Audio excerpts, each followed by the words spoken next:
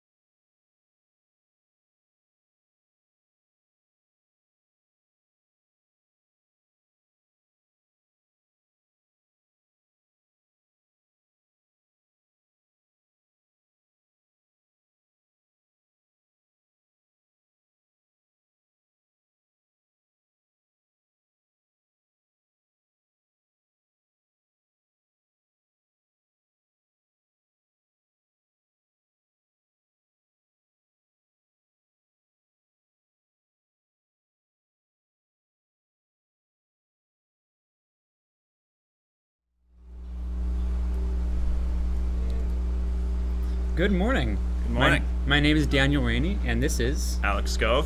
We are two master's percussion students, although you've probably seen us before. Yes. And uh, David, thank you for this, you know, excuse for me to dress up, Yeah. because I will never really pass on that. Yeah, nice vest. Thanks, man. good. Yeah, you know, I was really wondering if I should go with this or like the gray pinstripe thing. Yeah. I didn't, I didn't really know if I should try too hard. Well, I really need to appear aloof in these situations, you know. I think you made the right choice, and I'm glad you it. And to those of you watching the live stream, you must be really bored. but I really hope you find something to do with your day today. Yes. Well, shall we get started? Yeah. Well, hey, first we have this snazzy introduction video. David can pull that up.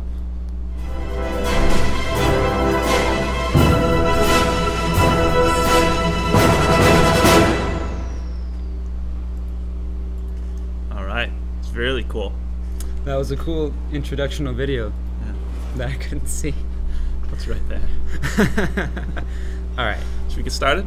Yes, we should. We have a variety of articles that we're going to be discussing today. And the first one by Helen Neviker, I hope I pronounced that correctly, Sounds about right. what you should do in practice rooms. Oh yeah. What are your thoughts about this? Well, there's a lot of things you should do in practice rooms, and honestly, I think you should have a practice room dog, which is why I brought Mr. Song.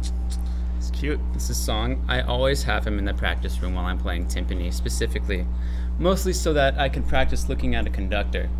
It's scarier than any conductor you will ever encounter in your own life, so Yeah. I'll leave him right here. He'll know if you play out of time. Yeah, you will. Yeah. With regards to the article, well, I, I don't much want to go into the actual content of this article, but I will respond to it with this. I think it's really important to cultivate sort of a mutual respect with one another within the walls of this school. You know, it's it's really easy to create and to perpetuate these negative feelings toward facilities and toward other students. You know, we all have a lot going on. We're all really stressed. But if you allow yourself to cultivate these feelings and to spread them around, you will be doing a disservice to yourself and to those around you, and it's going to impede the trajectory that we're all trying to see through here. Yes. That's all I have to say about that. Well, do you want to talk about what we do in the practice room? I mean, we're both first when, year masters. when we're actually in there. Yes. Daniel and I have a tendency. Well, here's here's just something you shouldn't do in the practice room. Well, you know, all the percussion uh, practice rooms at the school we go to are near each other, Right. and they all have these little windows where you can see people. So, first thing you should do in the morning is definitely not go and bother your friend in the practice room, because not only does You're it talking waste to me, right? You're, yeah, you're totally we're talking, to about me. each other. Yeah, Yeah. Not only does it waste their time in the room, it, you know, it's just taking time out of other people because other people could be waiting for that practice room. So We're such social creatures. yeah, and definitely don't go on long breaks to fill up water bottles. Absolutely don't walk all the way around the basement floor only to walk into other people, which is something Alex and I we would never do something like course, that. of course. I mean because that would waste time. Yeah, I mean, do you really need to drink water? I mean, come on. yeah. Just get Plus, like Coca-Cola or something. yeah, there's a water bottle, a water fountain close to. It's true. You know, there's two in the basement. Can we talk about the disappearance of the urinal cake in the downstairs men's bathroom? Maybe a little bit later. It was just I was very disappointed to see it go. Yeah, me too. It smelled really good. It was really nice. Um, but yeah, I guess you know in the practice rooms, just use your time wisely. There's a number of students that go here. I mean, there's 15 in the percussion studio with six rooms. Mhm. You know, every somebody's waiting. So if you're just on there on your phone or on your true. computer or you know talking with friends, it's not really the best use of time. Other than that, I mean, just just practice really. Also, it's really easy to sort of practice with the knowledge that there are people listening to you. And like, let's be honest here, there is always somebody listening to you practice. It's an unfortunate reality that we have to face. But personally, I find I have a bad habit when somebody walks by to sort of like try to to show off what I've been working on a little bit. I mean, it's it's a little bit, you know, immature, but it's it's something I try to get over. It was much worse in my undergrad, but just that's one thing. Just try to focus on yourself. Try to box yourself in. don't worry about that outside world because we're all on our own trajectories. Everybody has to work on their own specific fundamentals. Yeah, I don't know. I mean, these rooms leak a lot, but you know, there's some Especially the distortion. percussion rooms. Especially the percussion rooms. Yeah. Despite the concrete multiple layers that they attempted to put in the walls, Yes. we're just too loud, which means we're really good, I think. If you're really loud. Yeah. If our notes ring and resonate through the, Absolutely. through the room. Such tone. But yeah. What else do we have here? Yeah. Want to go to the next article or? I would love to. Okay. So this one is entitled Six Qualities That All Musicians Should Have, and it's written by Dylan Welsh, who is a guitar player in the Seattle area. It's a little background on that. Um, so yeah, uh, should we just talk about each each point as they go? hmm Essentially, what Dylan is doing, he kind of sums up every quality that a successful musician allegedly has, and he breaks it down into six specific points. And we're essentially going to go through these points one by one, and we're going to discuss our feelings toward them. We're going to elucidate upon what he said about these topics, Yes. And we're going to start doing that right now. It's a great time to do it. All right. Quality number one. They have no other choice. Um, well, I really feel like that's not true for everybody. What he says is, um, uh, you know, I mean, how plausible is it really for a specialized career such as this to be one's only yeah. choice Yeah, didn't you- I mean, I know you did you did something besides just performance in undergrad, right? Right. I was also doing audio engineering at Peabody. And I must say, it was very difficult to put 100% of my focus into both of those majors at the same time. So eventually, I was pretty much forced to make a choice. But I, I don't I don't quite know if that applies to this or not because that's like two really big career paths. But I what about musicians that don't have a double major or that, you know, have only really been doing music since, you know, they were in middle school and they decided that's what they wanted to do. And then you find yourself this far along having to make a difficult choice. Yeah. Um, that's interesting. And when you know, I, I think I've told you a little bit about you know deciding for music for me. Right. Because originally, when I was going for undergrad, I was deciding between percussion performance and gymnastics. Mm-hmm. because I got a scholarship to do that because I I was Right. really into the horizontal bar when I was when I was younger and then I was in the um, youth Olympics for it and things like that. But I remember talking with my um, uh, my gymnastics coach about it. We've had, had several talks about it, and you Mhm. know we just really needed to dive in. And, and mainly our discussion was between the two of them, which one would I have more drive for, and and even he was like, you know, Alex, I've I know how hard you work for gymnastics, but I see how you work on music, and that that you try and put more, so much more effort into that. And he said he'd been to my concerts and he's seen me play. Right. That he really wanted me to do do music, um, even though he said that I'd be a great gymnast. Um, His name was Mr. Johansson, right? You, you've Yeah. talked to me about him before. oh yeah, I mean, from what you said, he was such a tremendous inspiration, not just in gymnastics, but, you know, sort of in in making the effort to discipline yourself. yeah, That's which was one of the biggest things that Alex told me about when we were talking about this one time, was just like taking your own initiative and pretty much deciding how seriously you want to take this, you know, regardless, you know, regardless of what it is you decide to do. You all right? What's going on? Sorry. just, just choked a little bit. Dude, that iced tea, that's a lot of sugar, man. Yeah, it is. I don't really like those things because I feel like, what is it, like 70 grams of sugar or something? Like, whenever oh. I drink something like, Thirty-three. I mean, I was pretty close. Yeah. But, like, I always find I kind of go on a sugar crash, you know, if I'm drinking these sugary drinks, which is why I just resort to, you know, other stuff, yeah. you know, like coffee. Okay. Anyway, Yeah, would you like to stuff. proceed to the next topic of conversation? Number two in Dylan's highly successful and informative article. Would you like to say this one? Yeah, sure. Um, so the number two, the second point, uh, that he's said is that musicians are willing to work hard and educate themselves. Now, That's very true. now what he's saying for this, um, and the article, he, he provides a little description for all of these. Um, and what he's saying for this one is he says musicians must be able to fill multiple roles. You know, it's not just that you're good at performing or anything. Um, he says often when you're in a band, members will need to split the roles of manager, promoter, and, and booking agent between the group. So it's not just educating yourselves about how to play the instrument and, and music theory and ear training and, and all that stuff. It's it's about you know some of the business sides too and how to really market yourself as a musician. You essentially have to facilitate your own career in the very many aspects of doing that. And there's a lot of things that people don't think about. Personally, I think there's a lot of classes that aren't being taught on how to, you know, make these things happen for yourself. You know, there should be more classes about business in music. There should be more classes about performance practice, which I'm sure there are. Yeah. You know, essentially things like that you know, and all of these educational classes, you know, to do with musicology and things of the like, are incredibly useful. But what if there was a way to, you know, specialize in different areas? You know, what if you want to freelance? What kind of classes could be offered that could facilitate that or, you know, educate us on Yeah. how to make that happen? Maybe I want to move to New York after this, you know? Yeah, true. I don't actually want to do that, but know. knows?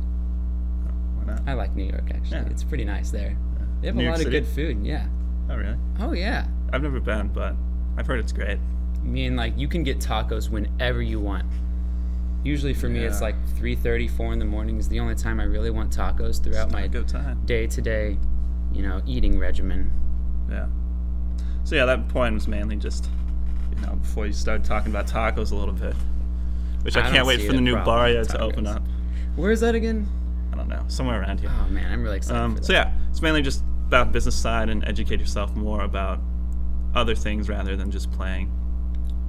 I think it's interesting that he says work hard and educate yourself, but then he kind of talks about the facilitation of a freelance career in this specific paragraph. It kind of doesn't quite match up with the title of the paragraph, but I think he The- he dives into these things later on in the article too, right? Yeah, I think that the, the description he wrote for it is better necessarily than the point True. that he wrote, but it's all still good. True. Yeah. Number three. Number three. They okay. don't mind living modestly. That is a reality that we have to face. A lot of money goes into facilitating our own musical careers. We have to purchase instruments, we have to rehair bows, we have to repair cracks. Yeah. I might have to buy timpani at some point in my life.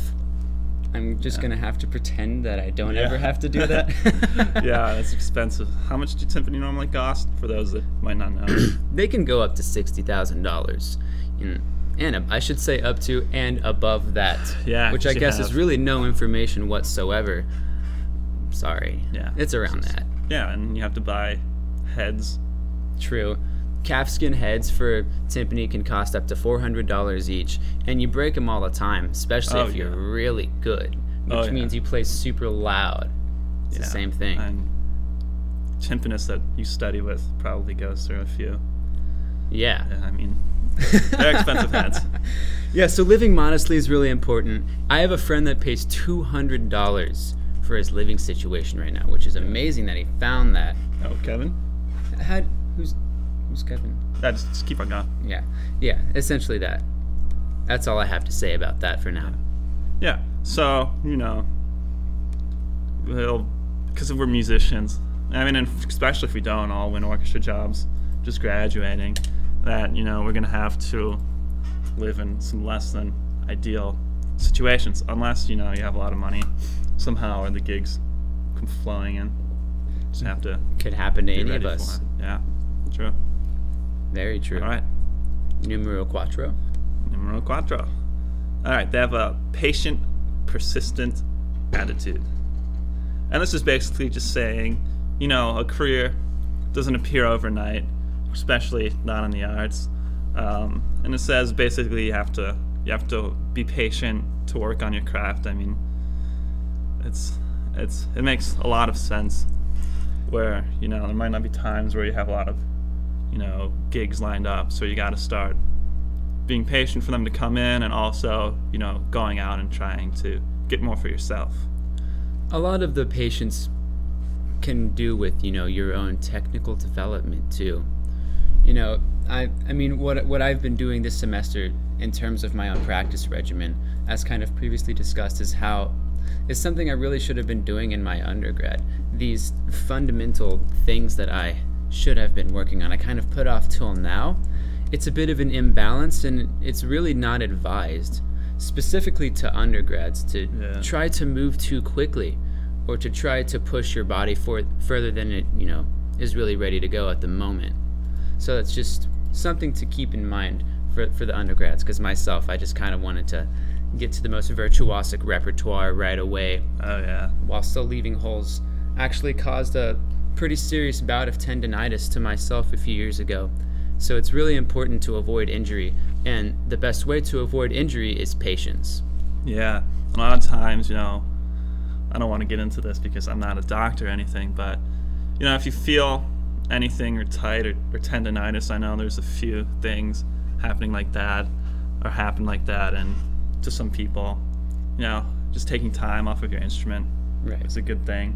Also, talking with your teacher, your doctor, going to a doctor Mm-hmm. would be a really good thing. I know some people don't want to do that, but it's crazy to think that you know you can just keep on playing and it'll go away. Now, okay, I'm sure there's a lot of you actually right now that are dealing with this problem. I just want to say that personally, when I started dealing with my tendonitis, I kind of wanted to pretend that it wasn't there. And the worst decision I ever made was kind of not believing that it existed, which is really easy to do in the short term. Maybe, oh, I just need to learn this Vivaldi piece for my next lesson, or I've got this recital I'm doing. For myself, I was trying to play early music gigs, I was trying to play piano, I was trying to exercise too much.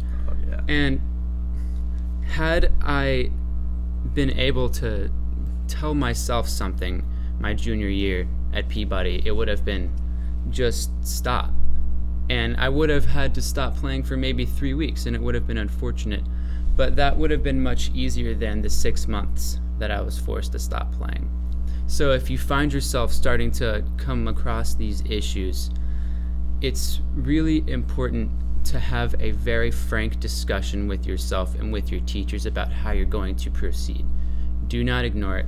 I personally know of a lot of people going through this right now, so Yeah. I just wanted to say yeah, that. yeah, no, and and you brought up a thing about the gym earlier this year. And Jamie Reynolds and I went to the gym, and I, you know, must have just, overloaded myself, and then my Mhm. arm started hurting, and you know, I waited a day. Trying to be Mr. World. Yeah, um, you know, and and then yeah, yeah, trying to be Mr. Will, and you know, I waited a day, and I tried to play on it, and it just hurt, and you know, I was just thinking to myself like, okay, I'm gonna stop playing today. I'm gonna go see a doctor, and I did.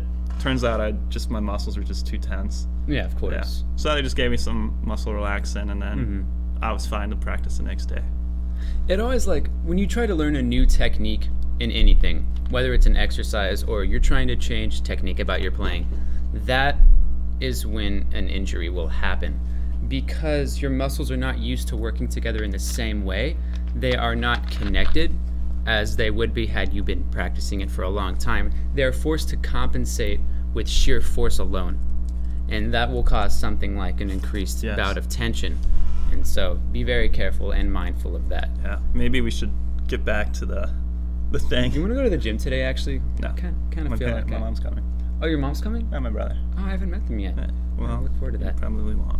That's okay. Yeah. I didn't, Okay. I didn't want Um, so yeah, back to the article. Maybe we'll do um, a discussion on on this type of thing later. Maybe. Yeah. Okay. Yes. That would that'd be good for another another episode. Okay. The fifth thing is that they're willing to and enjoy working on their craft every day.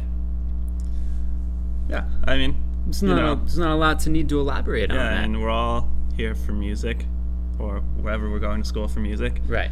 and we all enjoy playing music. I hope, because if not, then you know maybe reconsider. something. Of course. Um, but yeah, just you know, you love the technical development on the instrument, you know, Mhm. facilitation and moving around, and you just love the repertoire and enjoy enjoy playing in. Even though you know, there's some days where I wake up and like snare drum's the last thing I want to do. Of course. But you know, normally I'll play for like an hour and I'll be like, oh yeah, I really like doing this. You know. Yeah, and So if you ever find that you, you know, over a long period of time you're losing a little bit of motivation, you should I mean maybe it is a good time to take at least just a small break from playing, you know? Yeah. Not not a large break, not too much to where you will really impede yourself, but sometimes it's important to do other things. Do other things that you love for a little while. Refresh yourself. Kind Yeah. of give yourself a little bit of a reboot. Yeah. If that ever becomes a problem, which it certainly has for me oh yeah. in my years of playing. And I'm sure it has for all of us. I'm sure it has for David. hmm Yeah, just you know, find something else you like to do, like with snowing, sledding. Maybe go sledding for a day. Highly recommend sledding. yeah, sledding. it's great. Even though maybe not today, doesn't seem like there's enough snow on the ground. But hey, Snowball could fight, still be fun, yeah. Cutter There Field. will be snow in a few days. oh yeah, it'll, be, it'll be cold, but That'll be fine. Yeah, I'm escaping to even colder stuff. I'm gonna be doing bit. the opposite. I'll be in Austin where it's probably 60 degrees. All right, It'll be fun. yeah. You know, if you get burned out a little bit on playing, you know, whatever rep your teacher sign. you can always just try and bring in some, not like for a lesson, bring in something fun, but you can always just work on, you know, sometimes movie music is kind of fun, Exactly. like anything like that, or just Any other applications, really. try and play some rock music. Mm-hmm. I know I play drum I do set. enjoy Rachmaninoff. Yeah. That's not right. That was so No, it is Rachmaninoff. Rock and roll Maninoff. All right, let's continue. okay. So that one was they're willing to work on the craft every day, and they enjoy doing it. Then the sixth one is um, they're creative at generating income. Very important. Yes, because it's how you get money. income is money. also very realistically i mean we're not all going to find ourselves in a performance career that supports us 100% you know supports us buying a home leasing a car you know owning Raising a, a f- owning a dog Raising it's, a family. it's all really expensive it's very likely you will have to do something on the side until you achieve the position that you are here to achieve but it's it's going to take a while Yeah. So. and i don't even want to talk about loans Yeah. So let's not. okay Cool. Yeah, ignoring the problem. It's great. that's usually what I. Um, so yeah, in this in this in his description in the article, he says he mentions aside from aside from you know he doesn't really say an orchestra job because I don't know if this guy's an orchestra musician or not. Um, he talks about how you can teach music. It's a pretty obvious one. We've all probably done that. right Um, he says you can can write music and license music to be used in TV shows, movies, and ads. And he also mentions one that is nice. It's um, to work with an establishment like a restaurant or some place to set up bi-weekly or even monthly performances where you go and play play a little concert and whatnot. yeah I think that's a good idea. Mhm. Um, my brother is actually um, a jazz guitar player in Chicago, and actually, I'm going back this this weekend uh, for my sister's engagement party. But he has this Nice. show he plays at this Creole restaurant once a month um, on Fridays, Mhm. and he always brings in a super huge crowd, and they, it pays well, and it's a good thing to do. So it'd be smart. It's excellent. Yeah. Yeah, taking side gigs is always a really fun way to get yourself out there and to make people fall in love with what you do. A lot of people aren't very educated or even aware that certain types of music exist. So Yeah. why not bring that to them, right? Yeah, and doing things. Well, we have another article that's that's kind of like right on that. Yeah, yeah. Well, we have one before that. Well, of course. But yeah, that's just another one that talks about um, a thing called Groupmuse. But we'll get into that a little bit later, after this. Mhm. So that was the six qualities that all successful musicians have, and I'll just read them down one more time. Number one, they have no other choice. Number two, they're willing to work hard and educate themselves. Number three, they don't mind living modestly. Four, they have a patient, persistent attitude. Five, they're willing to and enjoy working on their craft every day. Mhm. And six, they're creative at generating income. Well done, Yeah. Mr. Dillon. Thank you very much for your contribution. If he's watching this, I'm not sure if he Yeah. is. And if he is, thank you. No. All right. Let us continue. Next article by Illinois Eleanor Cooper is how can we increase diversity in classical music? And I think specifically in this article she was talking about diversity at, in, in composers, Mm-hmm. especially. Right. Of course. Yeah, a, a lot of what this article does, it, I mean, it, it kind of reflects upon the innate racial and gender bias that is existent when, you know, when one is choosing their own repertoire because we have this canon of music that we always choose from. And, I mean, this article, it, it doesn't really get into ways of alleviating that. Rather, it just states the problem. Yeah. But if this is something we really want to fix, the only way it can really be done is to take the initiative to program pieces by composers such as Ignacio Sancho, George Walker, Chevalier de St. George's, uh, composers of the like, you know, composers of different heritages. It's really important that we take the initiative to program these pieces. yeah. Um, it doesn't really offer any suggestions on how to do that. It just says that there's a need to. Mm-hmm. However, it, it is very easy to forget that this is a problem. So Yeah. that that is the value of this article is to make known that this is still a huge issue, especially in the musical canon.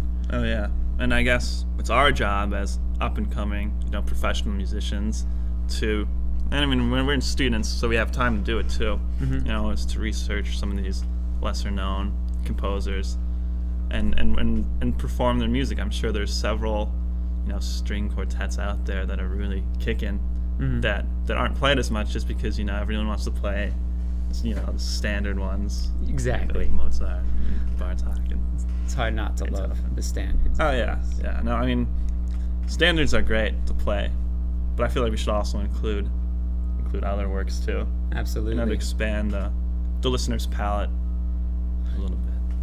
I mean, it's, I mean, it's coming off that like Alex and I also aren't extremely knowledgeable on other composers, you know, and that's Yeah. that's something that I think we're also going to take the initiative to at least ourselves learn about these different composers, learn about the probably 99% of music out there that has yet to be discovered by myself or Mr. Yeah. Scove.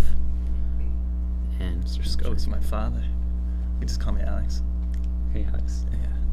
Yeah. Um, yeah, I mean, I know it's a little bit for percussion because you know there's no Bach percussion ensemble number one. Which would be Not pretty yet. interesting.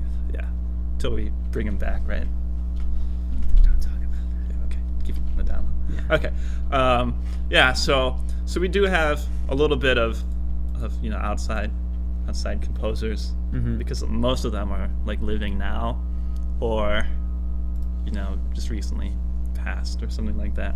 So that's good, but still, I mean, even even though we're playing stuff, Mm-hmm. still other people out there, you know. There really is. Yeah. There really is. Okay. Well, should we move on to the next one? I believe we should. Okay. I I really love this next article. Yeah, me too.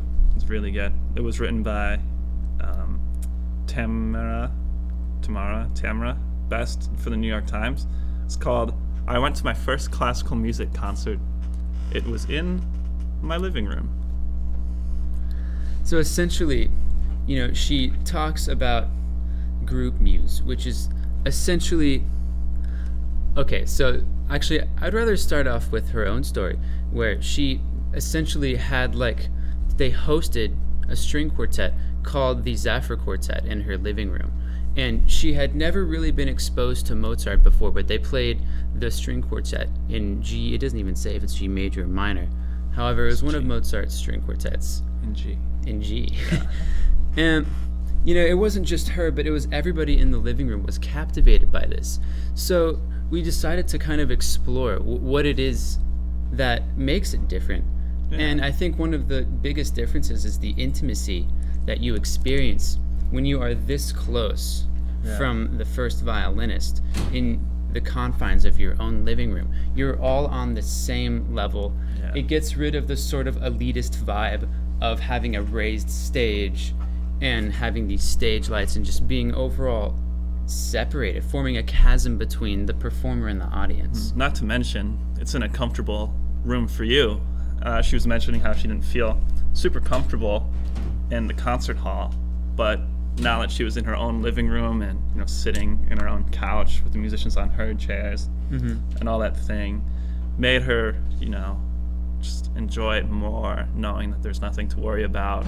Because she was talking about how you know if she were to go out to see a concert, she'd dress up really nicely and all that, but I think here she said she just put on like a sweatshirt or something.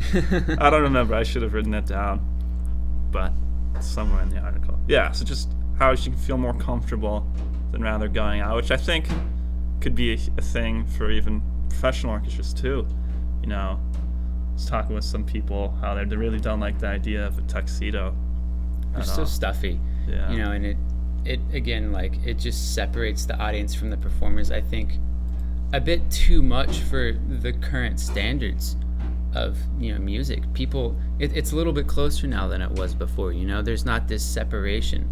There's not this sort of elitism that is kind of ever present in orchestral music performances that i don't think really needs to be there Yeah, not to mention, I mean, I, I'm assuming for other players it's it is too, but for us, it's kind of hard to play in a tux, you know, especially if you gotta play snare drum, the stick could get caught in your sleeve, or mm-hmm. or chimes where you have to raise your hands all the way up to your head length or triangle. that's why i have the habit of rolling my sleeves up Yeah. that's where that came from Oh, nice. you ever try playing snare drum with sleeves it gets caught in your sleeve Yeah. total disaster I know what you mean. Yeah, we always have to wear tuxedos anyway. I don't know. Yeah, so it's a lot of just, ugh, gonna play. so it pulls the sleeves up, Mm, and then you can just go play.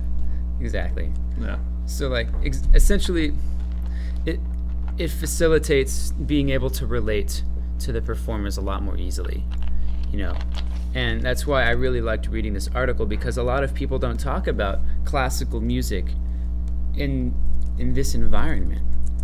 And honestly, it's it's kind of our job to cultivate the next generation of loyal patrons of Yes. you know these types of performances. And to do that we're going to have to acquiesce to these different ideas of why certain concerts are popular. We have to explore these differences and we have to adjust because we're still adhering uh, to a lot of the standards that were formed a very long time ago Yes.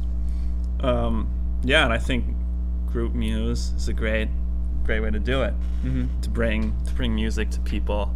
Um, and basically, I'm on their website now. I mean, I should have written down some some things about it earlier. Um, but basically, it's just saying that you know you get a place like a house or an apartment or somewhere like that. Um, bring your own drinks. I wish I could say I was making that up, but it says it on there. Um, guests under 21 are welcome. And then there's a $10 minimum payment that each person needs to do. But Mhm. it also allows you to donate more than that absolutely so that you can you know, essentially pay what you can yeah, basically. It's really, really nice. I know um, where I did undergrad, we'd often have um, chamber music parties where, you know, people would just sight read string quartets or woodwind quintets. There weren't really any percussion things. Because I doubt, not yet yeah, maybe tomorrow. Um, then things like that. And, and I remember one time that actually we actually did, uh, we all just sight read Beethoven 6. It's kind of funny having a whole giant orchestra in there. But that was pretty cool. that sounds really fun That was great. So yeah, I enjoy the idea of a more intimate setting for classical music. I agree Yeah, yeah, and she talks about how she really likes it in the article. I I I'd recommend reading this article. I assume these are going to be up for people to read at some We'll point. figure that out. We'll figure it out. Okay. Okay. Yeah. Yeah, that's a good one. If not, uh, it's New York Times article. I went to my first classical music concert. It was in my living room. hmm And if you have any further questions about these articles, feel free to contact either of us. We'd be happy to talk about yes, them. Yes, and also had join the Musecast Facebook page. highly advised. It's called Musecast. If you just search it on Facebook, I'm sure that'll be up there. Yeah, right there on the screen. You know, I think in kind of a side note, you know, it's it's very easy to become stressed out and to start to hone in on a very certain thing you're doing and you kind of forget about a lot of great things that this world has to offer. So I think we should thank Mr. David Morse Yes. for creating this show. You know, like it, it's very unexpected to find something like this at a music institution, but I think people need a little bit something extra. You know, a little Yeah. bit of positive impact or a little bit of really anything to get out of the rut that it's really easy to find yourself in in here. Oh yeah. So thank you for this. Yeah, thank you. Yeah, it's a great way, you know, do after practicing. It keeps you up to what's happening in the music world, and and you know, hopefully, it'll help you think a little bit differently about some things, and hopefully, some of this advice will will help you as you continue to study at the school and Absolutely. and you know start your performing career. Oh, right. Um, and also, today we're going to take a moment of silence for the Sandy Hook tragedy that happened four years ago today. So just keep it quiet.